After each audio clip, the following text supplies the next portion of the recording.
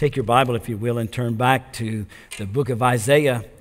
In this Advent season, we've been looking at some of the fifth gospel story as Isaiah has been described as the fifth gospel Matthew, Mark, Luke, and John, but uh, of the Old Testament. And we've looked at the popular passage found in Isaiah chapter 7 that a virgin shall conceive and bring forth a son, and you shall call his name Emmanuel meaning God with us. Isaiah 7. We know that one. But the backstory we were not quite familiar with. We looked at Isaiah chapter 9. His name shall be called Wonderful, Counselor, Mighty God, Everlasting Father, Prince of Peace. A passage we know. But the backstory we're not all that familiar with. Out of the darkness of this backstory emerges the glorious gospel message, the light these gospel stories that we find throughout, interwoven in the prophecies of Isaiah, designed to bring God's people with a sense of expectation out of their darkness into the light, into the light that God was calling them to, a light that He had called them to. And yet, they wandered in darkness for so many years. We come to Isaiah chapter 11 this morning a passage that you may not be as familiar with because it's not one that you easily remember, but certainly it is in that Christological line, that is in that line of passages that we find in the Old Testament in Isaiah's prophecy that speak of the coming of Christ over 700 years before his coming. And what would be the statistical probabilities of Isaiah speaking in such numerous ways concerning the Messiah who would come? It would be virtually impossible for these things to occur unless, in fact, they were miraculous indeed. For any one of them not to come true would be a dismissal of all of them. But the fact that all of them have come to pass in the first advent, and some of them still remain for the second advent or the second coming of Christ, is for our observation today. Isaiah chapter 11 there shall come forth a shoot from the stump of Jesse. He said, What does this have to do with Jesus? And a branch from his roots shall bear fruit. And the Spirit of the Lord shall rest upon him, and the Spirit of wisdom and understanding, the Spirit of counsel and might, the Spirit of knowledge and the fear of the Lord, and his delight shall be in the fear of the Lord. Again, Isaiah reminding God's people of old calming their fears, challenging their faith, helping them to understand that there is one who's coming who's greater than the king whose authority you live under now. It is not King Ahaz, it is not the Assyrians, the Syrians, or the tribes of the northern kingdoms, kings that you have to be fearful of or that you need to stand in awe of. No, it's this king of glory. It's this king who is going to emerge. It's this promise to them that out of this darkness will emerge this time of light. And so, Christmas, in a very real sense, is a time for us to remember the promises concerning the coming of the King. It's a dilemma for many pastors as we come to this time of the year, wondering what are we going to preach that people haven't already heard. I trust me, I'm in forums and talk with pastors and think, what do what are we going to say at Christmas that people haven't already heard?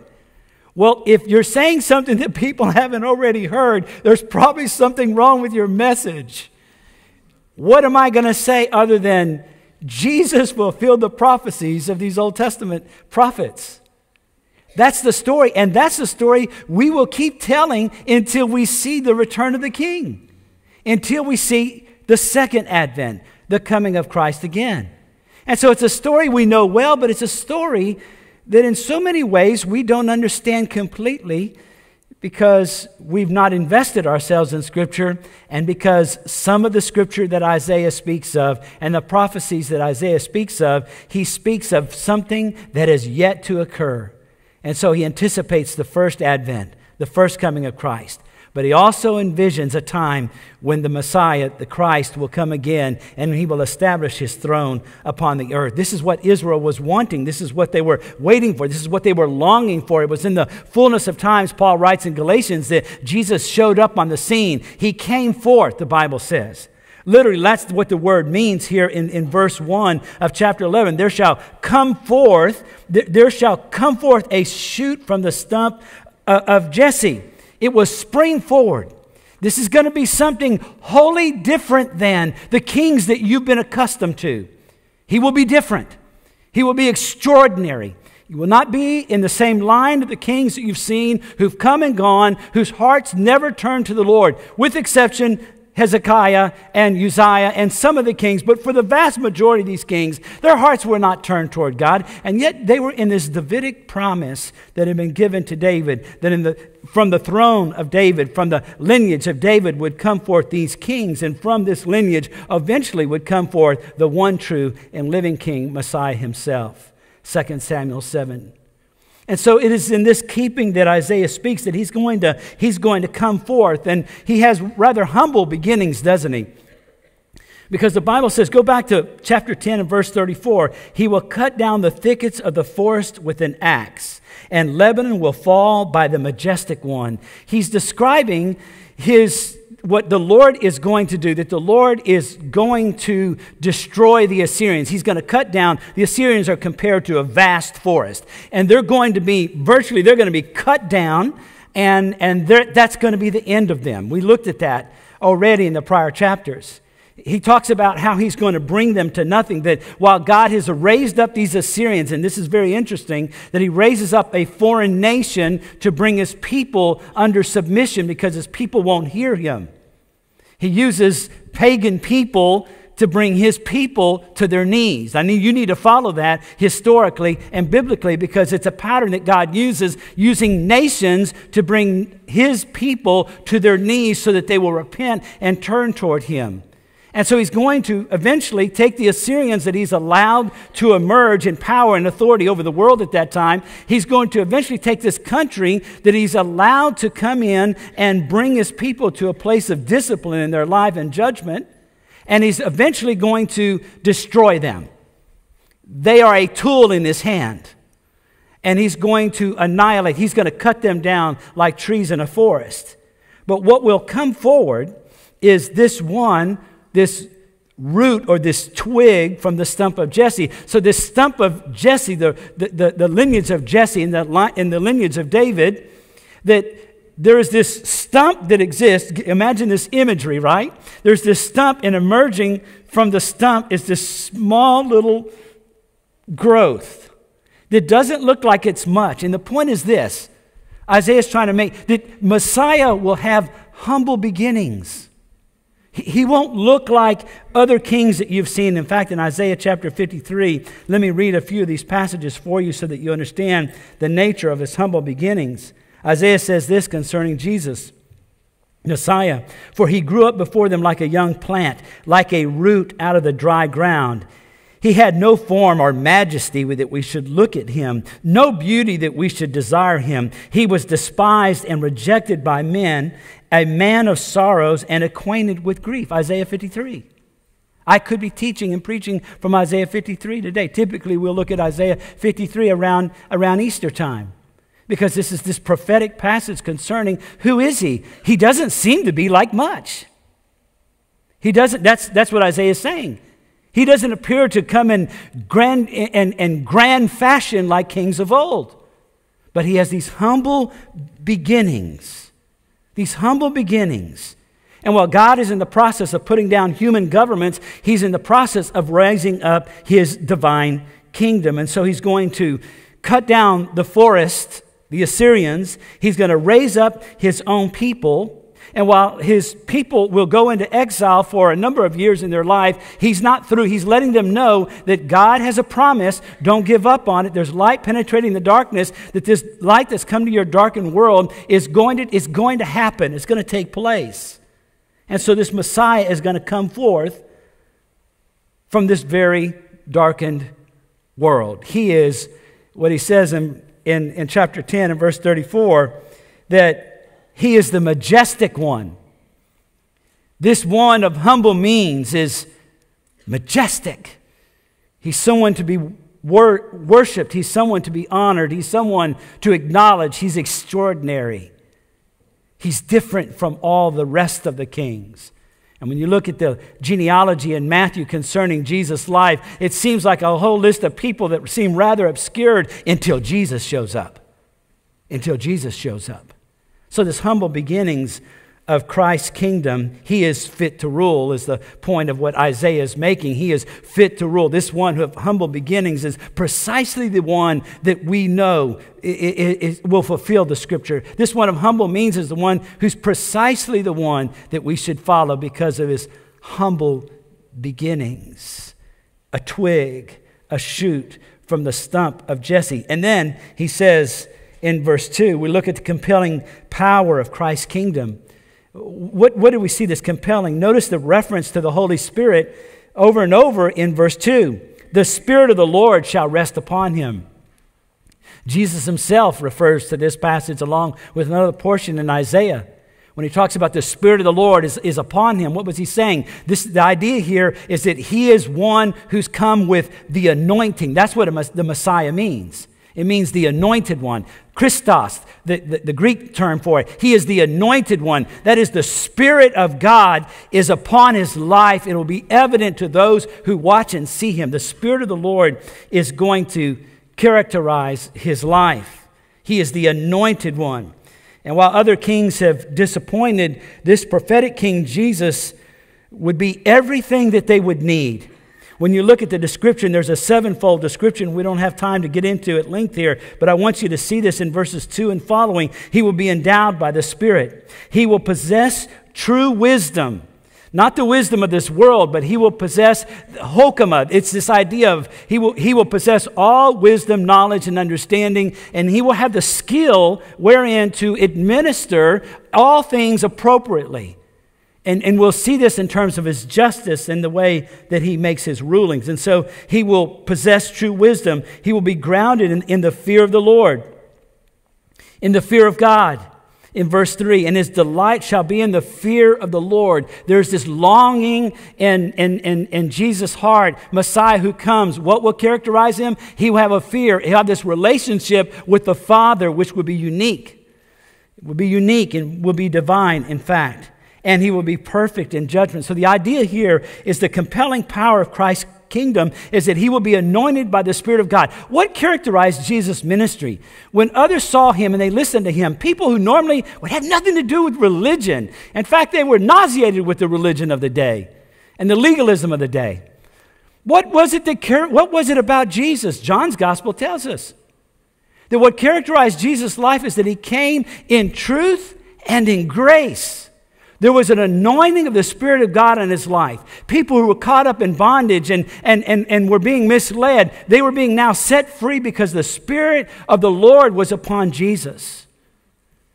And he was ministering in the power of the Holy Spirit in relationship, in perfect harmony with the Father. Look at this. In the Old Testament, the Father, the Son, and the Holy Spirit all working together. It's as though it's been a divine orchestra of some kind, right? Yeah, you got it right. It's exactly that's the case. And so he's uniquely qualified as the one who is here to fulfill the prophecy of Isaiah. And so we see the compelling power of, of Christ's kingdom, but also I want you to see going forward the supreme justice of Christ's kingdom. The supreme justice, his delight will be in the fear of the Lord. Notice verse 3, the second part of it. This is very important. He shall not judge by what he sees he will not decide disputes by his ears alone, by what his ears hear. What, what is the point? If, you don't, if you're not judging based on what you see and what you hear, what measure of judgment do you have? What standard of judgment? What capacity for judgment do you have apart from what you see and what you hear? That's basically all that a judge has, but not this king. The compelling power of Christ's kingdom, we, we see, we see the, the supreme justice of Christ kingdom. He will judge flawlessly in righteousness. Notice in verse 4 but with righteousness he will judge the poor. And it doesn't mean that he's going to bring judgment upon the poor. This is not the idea. In fact, go, back to Isaiah chapter 1. You, you got to see this because this is something that you will find throughout the prophets. You can argue with it all day long, but I'm just telling you, those who are disenfranchised in our society, those who have been, the, the system has, turned, has been turned upside down on them, have never been given a chance in this life. Isaiah is interested in this. He's interested in justice. He tells them to learn to do good in verse 17. Seek justice, correct oppression, bring justice, get, guess who? To the fatherless. Plead the widow's cause. Why was Isaiah interested in this? He was interested because invariably, when the system goes astray, when the system is turned upside down, when men's hearts are turned away from God, they will do the most atrocious things to one another. We have the capacity to treat each other in such harmful ways. And the people who, are, who, tend, who tend to get the brunt of it all are people who are fatherless, the widow, those who are oppressed, those who have no voice for themselves, the unborn. You got me here? Who have no voice. Nobody. How many politicians today run from speaking for the unborn? How many?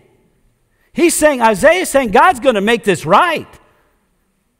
And those who are oppressed, he is very interested in people who are being taken advantage of. By the way, you take advantage of people, you got to know this. You know who's on the side of the disadvantaged and those who've been oppressed?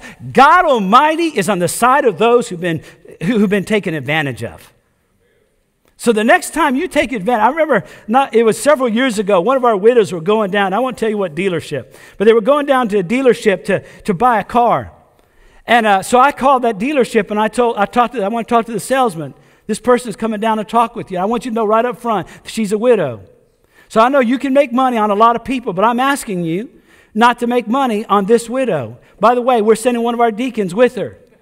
So you, you just need to know, and, by, and just on top of that, I'm not, I'm not threatening you. I'm just letting you know that what's about to enter into your sales office is not an ordinary customer. We're talking about a widow someone who could use a help up. And I said, So when she sits in your office, I want you to know that if you treat her right, God is going to bless the rest of yourselves. You make your money somewhere else, don't make it on her. That's what I told him. And we'll send a deacon along with them, with her. And that's what we did. Because you don't take advantage of widows. You don't take advantage of the disenfranchised. You don't take advantage of those who are poor. Poor by what estate? Because they didn't want to get up and work? No, that's not it at all. It's because they didn't have the opportunity. Look at the opportunities you and I have received in our lives. Do you know there are people all around us and people all around the world who haven't had the same opportunities that we've had? And you pull yourself up in the morning and think, my, what I've achieved. And so much of it has to do with the circumstance. And I know God's gracious, but we have been born into so many things, and so many, so many people haven't been born into those things. We ought to take note of that, right?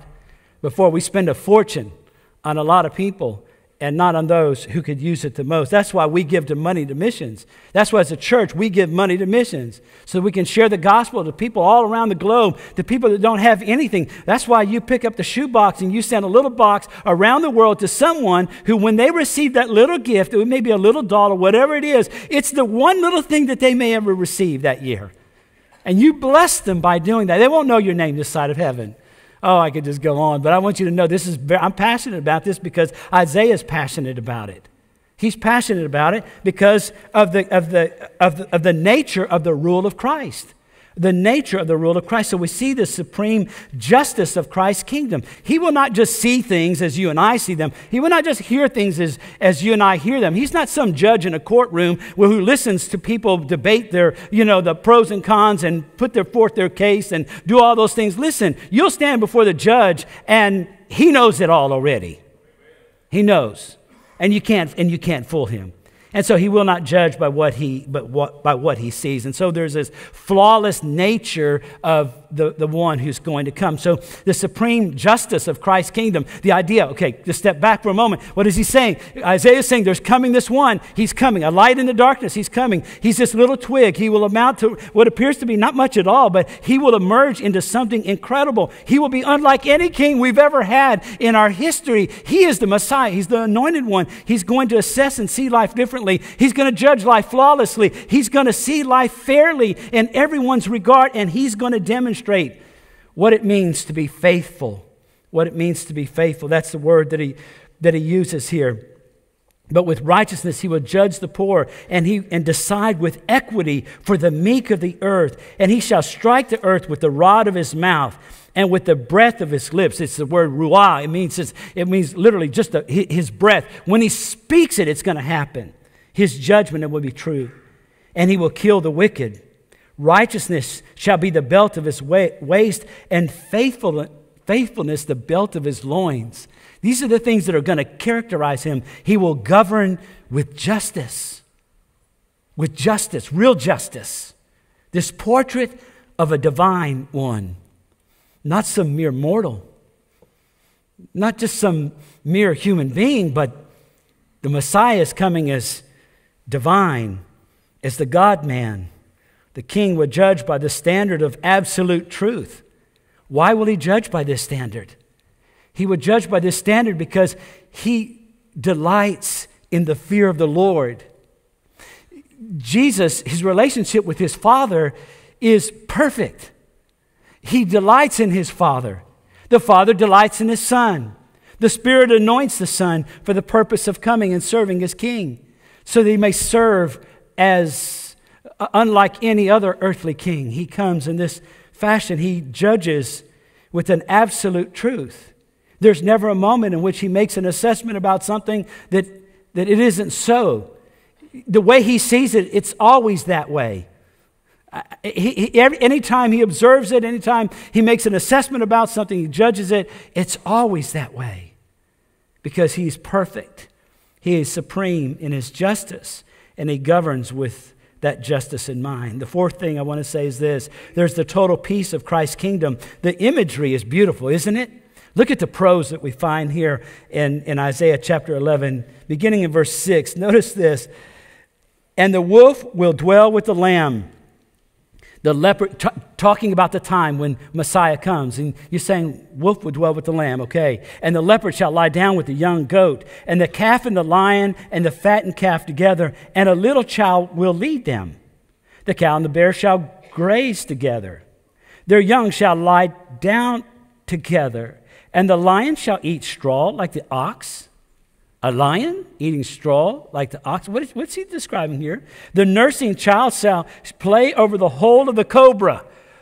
You ever put your child over the hole of a cobra? Let him play out there and just say, oh, he's going to be okay. Don't worry about it, honey. Yeah. Maybe some of y'all see a spider and say, get that child and pick him up, right?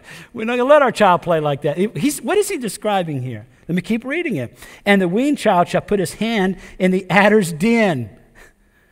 They shall not hurt or destroy in all my holy mountain. This is God's peace. For the earth shall be full of the knowledge of the Lord. What is Isaiah talking about? He's describing a time when Messiah comes, not just at his first advent. Isaiah seems to be looking now beyond the first. It's like he's on his toes and, and he's getting a vision. And he sees the Messiah is coming. And he's getting this vision and he's writing this down and he's recording this so that he has this understanding that this king is going to come. And, and he doesn't understand the distance between the first advent of Christ and the second. He's looking from this perspective. And so he sees the two of them almost as though they are the same event. But when you turn them sideways, they're not the same event there's some distance between them. He just doesn't quite see that, just like we don't quite see it and understand it. It's that perspective that we have on this side, reading Isaiah's words on this side of when they were written. So Isaiah sees the first advent of Christ, but we are able to understand that between the first, the, the, the already, and the not yet, the second coming of Christ, that there's this period of time that we are living in. It's this period of tension that we, like Israel of old, we live in this time of waiting, don't we? We're just like them. We're waiting. We're anticipating. We live in a darkened world. We're praying and desiring and hoping and, and, and, and working toward a more righteous place to live. And yet it seems as though the harder we work toward those things, the more and more we see unrighteousness prevail in our, in our culture, in our society. We see the injustices. We see the oppression we see all these things. But Isaiah says this that there's coming a time that this one who, has, who will come, he, he, the Messiah who will come, will establish a reign and a kingdom upon the earth in which even the animal world, the predatory world, will cease to be predators. They'll no longer look for prey. That's the description. In other words, he's describing a time of a kingdom which is to come, in which all things are going to be made right. That's the place we're looking for. Christmas reminds us that this isn't it. We're not there yet. We long for and desire.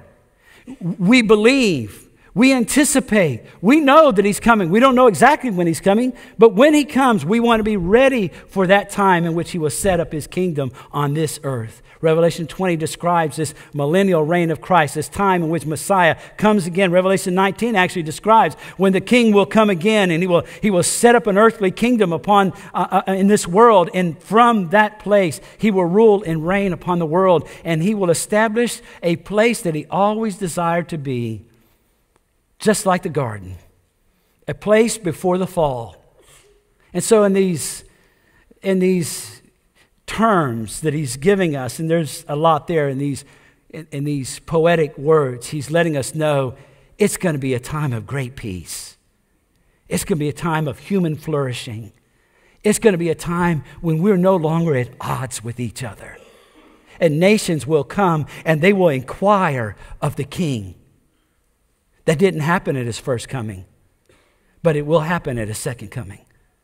We have that perspective that Isaiah didn't quite have. It doesn't mean we're better than. It just means we're, we've lived a few thousand years later, right? 2,700 years later, we have some perspective in light of what Isaiah actually wrote in Revelation that we have. And so the total peace of Christ's kingdom is, is amazing. In, in the incarnation, uh, uh, Isaiah 9, we see that the nature of the incarnation, that a virgin shall conceive and bring forth the Son, right? And you shall call his name Emmanuel. But there, then there's going to be this time, not only of his first coming, the incarnation, but the time of his second coming, the realization, the actualization of all that Isaiah spoke of. It's going to happen one day. That's God's future for our lives. He said, Well, that's fine. That's then. What about now? The purpose of understanding the future, God's preferred future for our lives, is so that in light of the coming of Christ, the actualization, the realization of Jesus coming, setting up his earthly kingdom, and making all things right when in fact they've been wrong for so many, the, the, the, the, fact of us knowing that will help us to live differently now. That's the purpose of it. Not just simply long for a better day for me, but to work for a better day for you.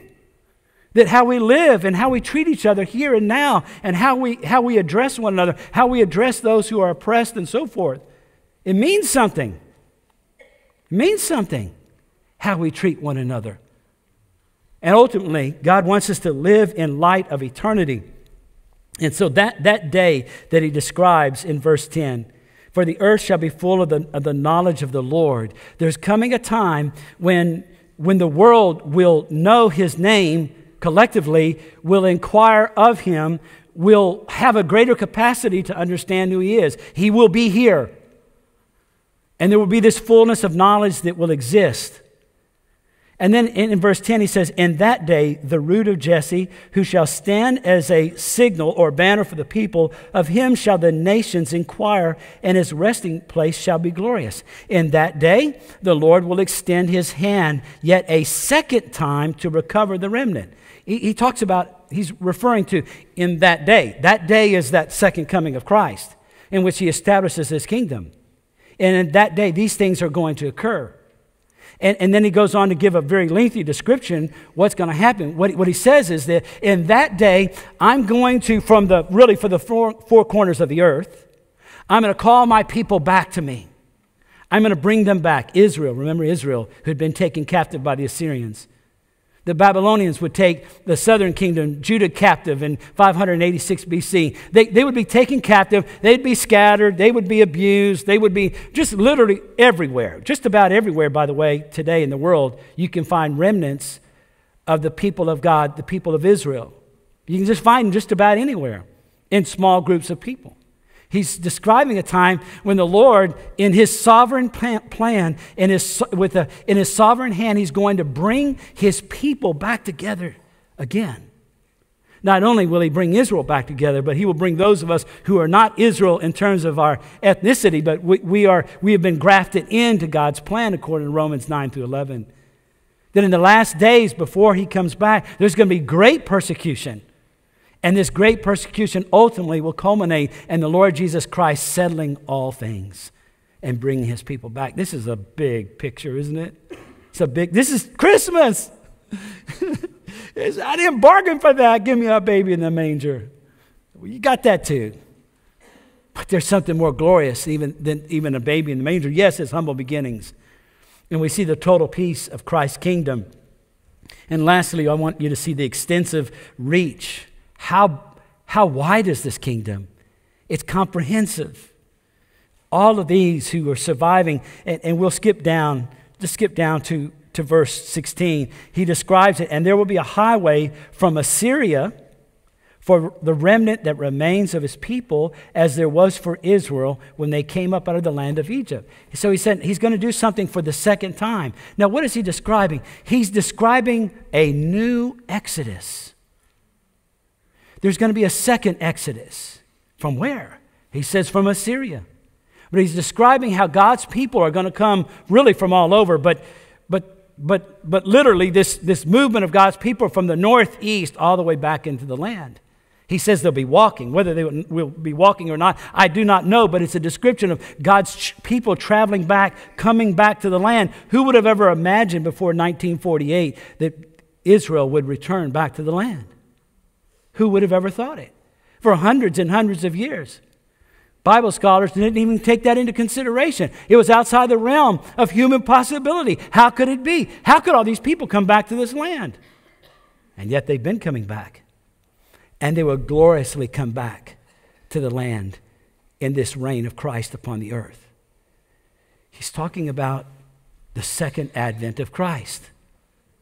We celebrate the first, but we consider the second. We consider the second because if we if we celebrate the first and we don't consider the second, then we miss the fact that one day we are going to stand accountable to the one true and sovereign God of all of creation. And the one that can raise up an Assyria and then cut her down like a forest of trees is also the same one that can allow us to emerge. And then at the end, we would be cut down because we rejected him. If you reject him, you don't have anything. When you die, you know what they're going to do? I just want to put it to you simply. They're going to get a U Haul trailer. They're going to back it up to your house. Your family's not going to want to go through all your junk. I got a bunch of that in my shop. I've been trying to get rid of it. Thought, no one wants this. Those little sentimental things you've been holding on to, or whatever you got, they're going to throw them out. They may keep one or two, you know, whatever. And it's like, I want, I want it to be really raw for a moment, okay? They're going to pull that U-Haul up at $39.95 a day, and they're going to carry your few little belongings away, and the rest of it they're going to put out at the street. And you, as you were born, you would die.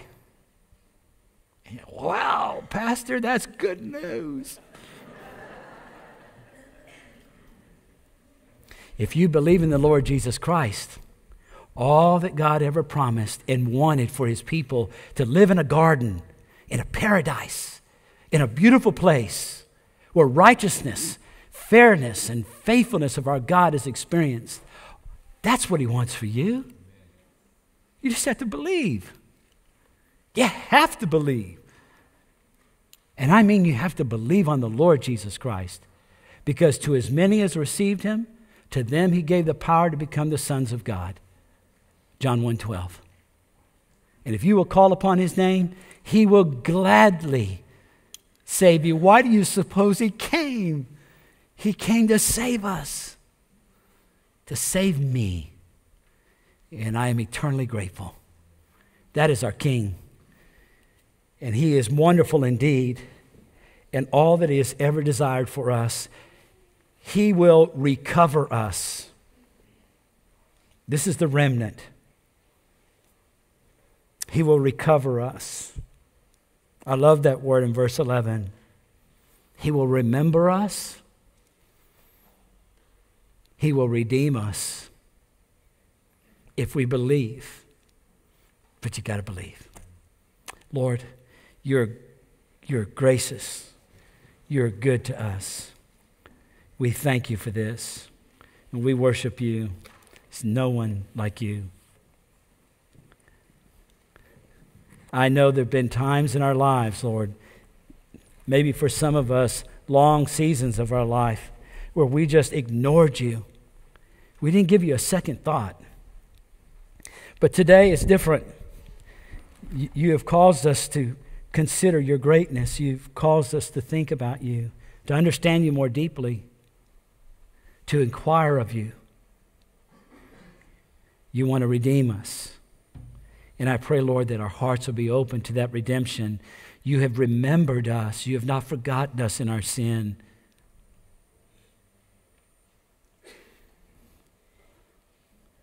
You've not abandoned us. And we love you for this. We give you our hearts, our lives. We dedicate our, our homes to you. Lord, you are, you are great. We praise you in Jesus' name. Amen.